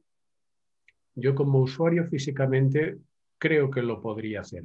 Ahora quiero creer, eh, lo desconozco, pero quiero creer que en un proyecto de estas dimensiones y con un sistema como ProjectWise hay una seguridad detrás que yo desconozco. Como he comentado antes, dado que la estructura de trabajo es muy de roles, yo no he logrado ser, no he tenido a mi, digamos, no he sido, no he tenido el control de un proyecto como de un aeropuerto o de un rascacielos, evidentemente, con lo cual no sé físicamente qué hay detrás y qué se está manejando a nivel superior. Yo solo conozco lo que es la, el, uso del programa de modo local y las, los conceptos teóricos que hay detrás. Claro, porque como me comentaba, solo tienes acceso a proyectos de algunos miles de millones de euros, de trenes y etcétera. Es, es divertido porque siempre estamos en lo mismo. No he visto tal cosa el aeropuerto, pero me he hecho tres estaciones de metro y una línea de mil millones de, de libras, ¿no? Bueno, eh, no, ya, entre, entre Big Managers son pequeñas bromas que nos podemos hacer. Eh, eh, queda claro que entonces la seguridad que se hace en el, local, eh, cuando hay un protocolo, una responsabilidad, una transmisión, como multinacional suele estar más acostumbrada a dar criterios, a enseñar, a mostrarlo, a obligar a cumplirlos, a seguir un procedimiento. Eh, en el caso, siempre es protocolos y skills. Ahí es donde estaríamos diciendo, protégete, haz esto, no debes hacer aquello. Eso hay que informarle también de cómo mantener su propio computador, cómo tener procedimientos de, de controlar. Eh, por ejemplo, en Windows es esencialísimo tener un antivirus aunque sea un nivel básico, es fundamental, si no el agujero es tan grande que... Pero me decías que el daño que se produce realmente copias de seguridad lo van a minimizar, ¿no? Y los errores que se vayan produciendo lo va a ver el equipo, porque va a haber alteraciones que no va a distinguir. Entonces, en ese sentido, la copia de seguridad minimizaría ese tipo de malas intenciones, de hackeos que provocan problemas. ¿Tú lo ves así o no me das ninguna solución y entonces estoy temeroso si se puede? Si hay un sistema de, desde luego, de control de, problemas de seguridad y, un sistema de copia de seguridad de cualquier tipo, aunque no sea de Bentley, pues sí se minimizan, claro, los... Es un sistema de, archivos y por tanto hay algo que se puede restaurar buscando aquí o allá. E incluso me estás comentando que podría haber, volviendo a seguridad, varios sistemas de copia de seguridad redundantes. Sí, sí. No creo que haya una solución de una solución. Sí, dado que, sin embargo, dado que es local, es decir, yo tengo unos ficheros que luego puede tener otra persona, el sistema debería ser dentro de ProjectWise, no local mío. Pero existe, es que me estoy quedando con la duda, tal cual estamos hablando, me estoy quedando con la duda. Y probablemente... Te voy a decir que yo no tengo ese sistema porque, digamos, eso está en el ordenador, entre comillas, en el servidor, o en el ordenador del coordinador general de este proyecto, pero hay de seguridad que permiten volver hacia atrás y, evitar. Bien, que nos quede bien claro para que todo el público diga no, no, no hay que, no nos alarmemos, que la situación está controlada. ¿no? O sea, una cosa es eh, informar y otra cosa es alarmar a la, audiencia. No, no es el caso. Sé que la información está segura, pero no sé por qué procedimiento. No he visto ningún proyecto de estas características hundirse por un problema de información.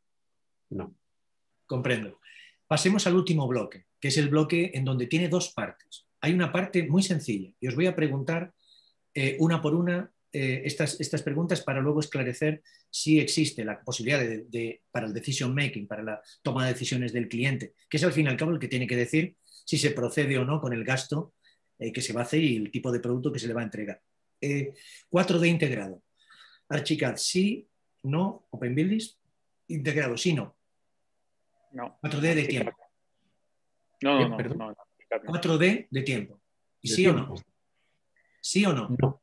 Existía y ahora no, no, no, Solo quiero saber sí o no, porque ahora vamos a desgranar. No os preocupéis que vais a tener opción. Sigamos con el 4D. Perdona, por ser justos, sí existe un sistema, es demasiado antiguo y no es operativo. Muy bien. 4D, eh, eh, si no hay integrado, eh, el, que el, que más relación tiene con eh, vuestro sistema o que es habitual? Pues, a ver, en cuanto a gestión de tiempos, eh, yo creo que lo sí, yo creo que lo suyo sería apoyarse, pues, en, no sé, en sincro o en algo por el estilo. Sí, sí. Pero mm, sincro sería una solución, ¿no? Sí, se podría ser una solución, sí. Sincro. O sea, soluciones externas que son en el mercado. ¿Bien integrada? ¿Bien integrada en tu, opinión? Mm, la verdad es que lo desconozco. Es que yo no he utilizado en este caso Syncro. he utilizado alguna vez Project, pero no, no Syncro. Pero vamos a ir rápido con esto. Eh, Pedro, que sé que Bentley ha comprado Syncro. Efectivamente. Syncro ahora es parte de Bentley y es, es una integración reciente, con lo cual todavía falta algo para la conexión completa, pero sí, efectivamente es, es la solución. Sí, eh, eh, siguiendo por ti, eh, esperando el retorno de las cosas que ocurren en el directo. En el 5D, ¿qué es el coste? solución integrada con Open Buildings. 5D. También podemos decir que existe una herramienta de mediciones interna, pero a la hora de hacer presupuestos no? es operativa. Externo. Externo. No. Externo. Externo. Ok que, como he, como he empezado esta parte de 5D por Pedro, Pedro, ¿cuál utilizarías o cuál es la preferencia? Pues aunque ya me ha reñido otras veces, entre comillas, tiene que ser por vía de una Excel. Vía Excel. Un informe completo, un, reporte, pero en Excel. El Excel es el, es el papel del, del siglo XXI. Eh, creo que ya me he expresado suficientemente con esta declaración. El Excel es para, ver si lo, si lo extinguimos, reconociendo el papel también ha tenido su papel. Hay que reconocer que es el IFC de la mayoría de las aplicaciones de presupuestos, con la excepción de las herramientas españolas que son magníficas, pero muy, eh, bueno, limitadas al mercado eh, latinoamericano. Ok. Eh, bueno, bueno perdonad, estamos en directo y... Ah, adelante, adelante. A, un cliente. Em, a ver, en el caso del 5D es lo que comenta Pedro. Claro, en España tenemos aplicaciones muy particulares para este cometido. Eh, em, yo creo que lo mejor es tratar de vincularse mediante IFC. Eh, ok, pero dime, pero dime una aplicación. Es que para que nosotros tenemos un catálogo. Eh, por ejemplo, una que a mí me gusta especialmente es Mideplan.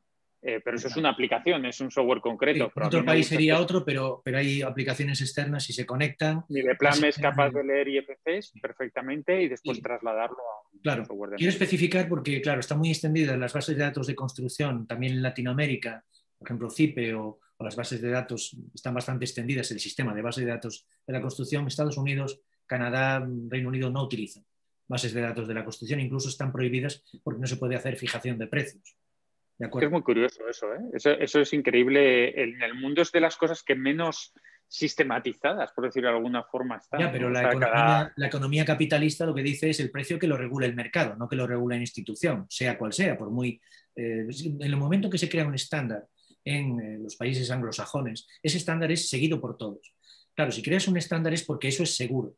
Si de repente ese precio no es tan estándar, sino que dependía de alguien que lo fije, estás creando toda una situación en la que todo el mercado se está, se, está eh, eh, perdiendo la libertad de mercado a causa de eso. Entonces tiene su punto. Por el otro lado, las ventajas de las bases de datos de la construcción son obvias. Y es que es un sistema integrado que prevé todo. De manera que, claro, tenemos una cultura, digamos, en España, Latinoamérica, Caribe, que es completamente diferente. Yo diría que funciona muy bien, pero es que en el mundo no es habitual. No es tan habitual. ¿no? y sobre todo en los países que tienen el liderazgo, que tienen esa libertad de mercado, es una economía liberal. Entonces tenemos que ser conscientes del mundo donde estamos. Entonces, eh, el modelo se conecta con sistemas que en este momento eh, pueden ser bases de datos de construcción y hablabas de Mideplan o de Medit o de otros sistemas. O sea que los tenemos. Yo lo que quiero saber para el cliente si le vamos a poder hacer el delivery, la entrega del 5D. tengo confirmación de que no dentro, pero fuera se conecta y es interopera todo el tiempo. Es decir, el sistema está constantemente haciéndolo o son muchas labores y hay que hacerla aquí, aquí y aquí. ¿Cómo sería esa interacción? ¿Nos entregan la información rápidamente los, los que están haciendo esa labor 4D, 5D? ¿O bien, eh, bueno, hay que marcar cuándo? Bueno, eh, habría que marcar cuándo. Habría que marcar cuándo. No sé si ibas a hablar tú, Pedro. No, eh, es que, a ver, me he quedado efectivamente eh, tú has mencionado el IFC, yo he ido rápidamente a lo que es el resultado de las mediciones, pero en, en también existe lo mismo y como he mencionado antes, uno de los MVD del IFC es precisamente Quantities, que es para eso, que es para mediciones, así que también es una, una vía. Pero luego, lo que ha mencionado Diego, efectivamente yo entiendo que para mí, salvo que sean mediciones de, no sé, espacios o ese tipo de cosas, las mediciones son una fase final o una fase determinada. claro, eso, eso es contrapuesto, es contrapuesto a las alternativas de diseño. Tenéis que verlo, tenemos un problema del mercado que probablemente no nos está entregando todavía algo que es un concepto en BIM, que es que mientras nosotros modificamos el modelo, alguien eh, tiene que estar, esa labor tiene que estar siendo sincronizada. Me, me gusta mucho la cuestión de que el de quantity takeoff, o sea, de coste y de tiempos, eh, también los tiempos, deben estar más integrados en, los entornos BIM. Creo que esto es una laguna que se tiene que cubrir, porque información de Vico, por ejemplo, que es una aplicación muy utilizada, 4D, 5D, eh, no eh, da ningún feedback de esa información al modelo. Y al final resulta que la información acaba en otro lugar, pero que luego también los procesos los determina esa aplicación y cuándo los entrega. Y eso es un problema para el cliente. Pero bueno, se pueden determinar milestones, pero el proceso es más caro porque normalmente esto significa que tú tienes que acabar, el, modelador acaba y dice, espero a que me den los resultados y esto no es una buena interoperabilidad. Tecla es un caso en el que esto no es necesario. La interoperabilidad es perfecta entre unos y otros. De hecho, hay cientos de interoperabilidades con el modelo y no son tan caras, simplemente que los equipos están funcionando dando alternativas. Quiero decir, como BIM managers que somos, podemos esclarecer, porque ahora voy a ir a lo siguiente, que es el 7B, la eficiencia energética. Eh, bueno, porque antes se llamaba EcoSym, me imagino que Open Buildings tiene el suyo. Eh, contadnos, ¿qué solución de eficiencia energética, sobre todo, más que sostenibilidad, tenéis dentro? Sí, eh, bueno, era una, cosa del tema de, los presupuestos. El, no, pero no vayamos por ese camino porque no tiene especialización. Ya está, o sea, terminado. Energy Simulator, aplicación que tiene de dentro eh, a EcoSim, que es una aplicación pues, muy interesante, aunque hay que decir que está enfocada al, mercado americano. Eh, eh, tiene poca interacción con los estándares europeos. En el caso de Archicad es EcoDesigner, que viene totalmente integrada con el software, o sea, en este caso sí que es parte integrada totalmente. Y lo positivo que tiene es que se pueden ya hacer cuantificaciones desde las primeras etapas de diseño, que es un poco lo que, comentabas tú. Bueno, pues Integración, ¿no? O sea, está integrado, por tanto se puede hacer. Eh, pregunta Pedro, ¿qué utilizarías tú eh, para en Open Buildings? ¿Qué usas para determinar la huella de carbono o el consumo energético? ¿Qué utilizarías? ¿Cuál es el flujo que te parece o, lo que establecerías? Lo desconozco porque realmente la herramienta no la he trabajado mucho y, entonces no sé, yo creo que habría que acudir a, aplicaciones externas. Sí, aplicaciones externas, pero ¿cuál crees que es la que mejor conecta o lo que se suele utilizar? No, aplicaciones no lo sé. En, ese sentido no, conozco. proyectos más largos, proyectos más grandes, donde hay más diversificación y parece que alguien hace el trabajo. También es, son diferentes filosofías de los perfiles de la aplicación. aplicación, estoy recordando una aplicación sobre ese service para, para evaluar esas cosas, pero eh, ha desaparecido. Entonces, cuando desaparece una cosa en Bentley, es porque probablemente han comprado una aplicación. Eh, claramente está Design Builder ahí. Design Builder y otros que son de top y, también hay otros sistemas que son conocidos, que son softwares del mercado. Eh, la esperanza es que todo esto tuviéramos respuesta más contundente. Bueno, en el caso de, de Graphisoft sí que nos da una respuesta. Eh, entonces, tenemos 4D, 5D y 7D, entonces podemos evaluar el tiempos, costes, y eh, la eficiencia energética de la solución que estamos proponiendo, que es una solución del modelo. Entonces, hacemos varias alternativas del modelo y vemos la ecoeficiencia. Entonces, digamos, podemos volver atrás y decir, es que la ecoeficiencia que tenía este modelo era mejor. Por tanto, eh, sea externo, sea interno, viendo que los flujos externos siempre provocan milestones, coordinación, delays, más obligaciones de estar eh, todos juntos, o sea, la colaboración tendría que ser muy buena para que fuera como en aplicaciones integradas. Aplicaciones integradas yo no he dicho que no sean aplicaciones que utilice otra persona, otro consultor, pero que estén integradas, quiere decir que el resultado se está recibiendo, se le está enviando al modelo y está determinando. Entonces, ¿podemos darle al cliente ese índice 2E? Eh, entiendo que sí, aunque flujos serían diferentes porque no hay tantas aplicaciones integradas. En Graphisoft deduzco que 4D 5D no están tan integrados y podrían crear, pero sí está el 7D, o sea, la energía, eh, la eficiencia energética, y en Bentley estaría el potencial, eh, quiero decir, la integración con Synchro, entiendo que sí, entiendo que sí, aunque no es la misma aplicación, pero que sí es habitual. Conocemos que el 4D también le da ventajas a Archicad, porque Synchro sí que es un programa que, que realmente es externo, pero muy bueno, por tanto 4D sería menos problemático, pero el 5D parece que crea aquí un flujo en el que saber la información y conocer el coste va a ser eh, duro para ambos entornos, entiendo yo.